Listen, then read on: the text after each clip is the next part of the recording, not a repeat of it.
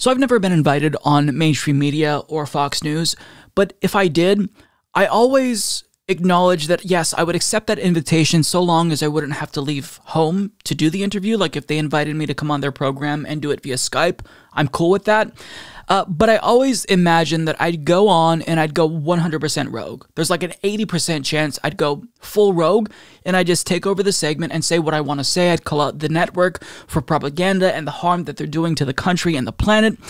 Uh, but two people actually kind of did what I've been wanting to do for a long time on two different networks. So this week we had Newsmax and Fox News called out for the big lie that they spread about the 2020 election.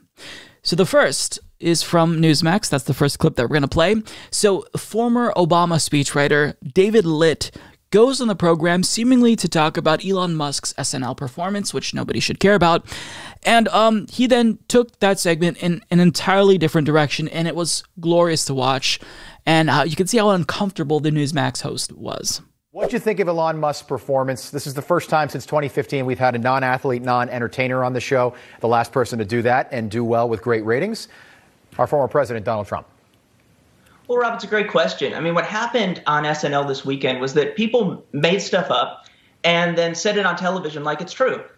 And that actually happens pretty frequently in American TV. For example, in 2020, Dominion Voting Systems sued Newsmax over its false claims about election fraud. Newsmax was lying to its own viewers, and Newsmax had to settle that lawsuit. So, um, actually, I just need to check in. Are you still telling that lie, or are you telling new lies? Wait, are we talking about? I'm sorry, David. Are we talking about? Do you want to talk about something completely non-related and try to catch me on a Monday morning, totally off topic, or do you want to talk about Elon Musk? Well, I can see why you don't want to talk about Dominion voting systems because if you do, Newsmax could get sued and lose billions of dollars because these are lied. David, David, David, David, that, that's listen, I, David. Uh, that's that's fine, David. I know this is a very funny moment for you. I'm sure you didn't sleep last night as you prepared to sort of try and get the morning anchor on Newsmax. I'd be happy to talk with you about whatever you want to talk about. Obviously, it's not the topic that we have set up for right now. So if you'd like to talk about Saturday Night Live, I will do that with you. But obviously, I'm not going to talk about anything else right now. So you decide right now, in this moment on live television. Go ahead. Did Dominion voting systems have any impact on the 2020 election?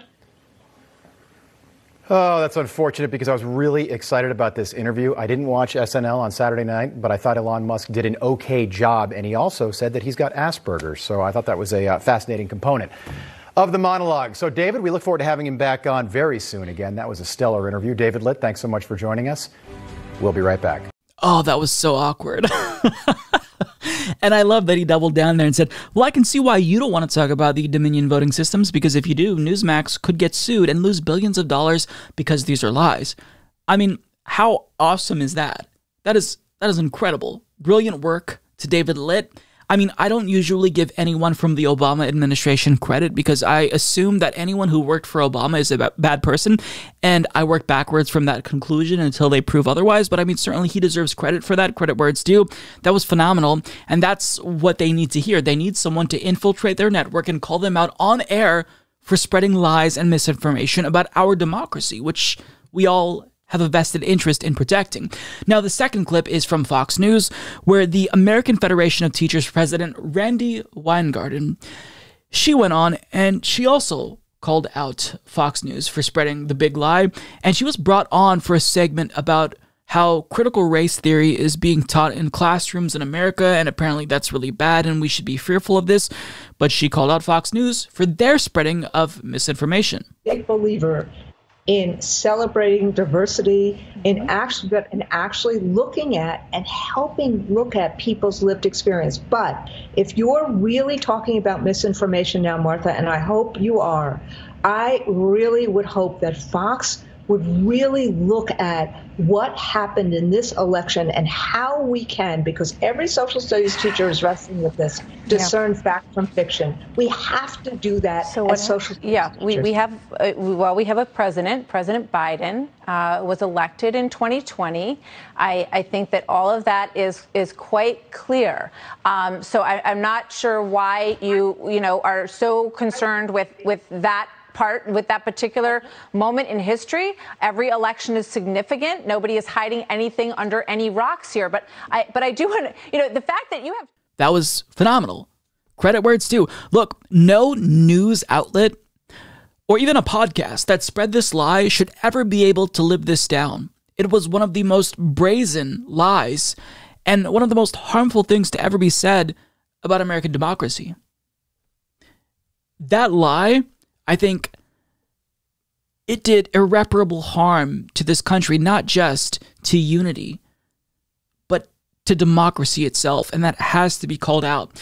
Now, I think that this goes without saying. Anyone who knows my work, who watched me particularly during the 2020 Democratic Party primaries, knows how disappointed I was with Elizabeth Warren. And Randi Weingarten helped Elizabeth Warren smear the base of the only progressive candidate who actually had a chance of winning.